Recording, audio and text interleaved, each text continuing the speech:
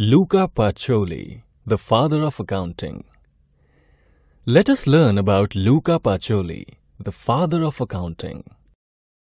Italian mathematician Luca Pacioli published the first book about double entry bookkeeping on 10th November 1494.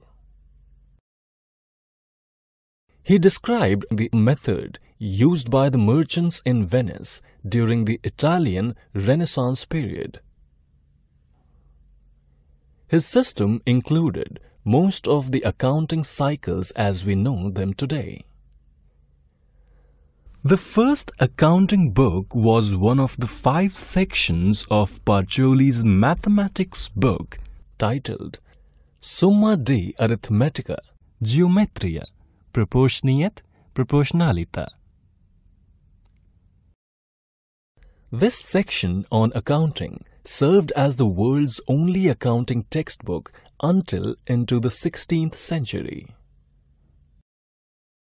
His book titled Summa de Arithmetica, Geometria Proportioni et Proportionalita is about arithmetic, geometry, and proportions.